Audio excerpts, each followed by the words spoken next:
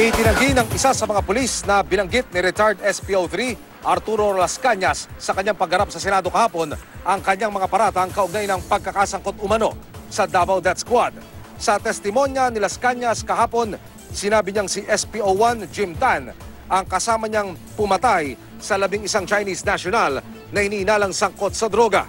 Ayon po sa hepe ng Davao City Police na si Senior Superintendent Michael Dubria, nang ipatawag niya si Tan sa kanyang opisina, sinabi nitong nagsisinungaling si Las Cañas. Ayon pa kay Dubria, wala namang kaso si Tan. Kaugnay naman ng iba pang retiradong pulis na, na nabanggit ni Las Cañas na sina SPO4 Ben Laud at SPO4 Dick Cloribel. Sinabi ni Dubria na walang masamang record ang mga naturang pulis. Hindi rin niya alam kung nasaan sila. Iniutos na raw ni Dubria sa mga tauhan niya na mangangalap ng impormasyon tungkol sa mga pahayag ni Las Cañas.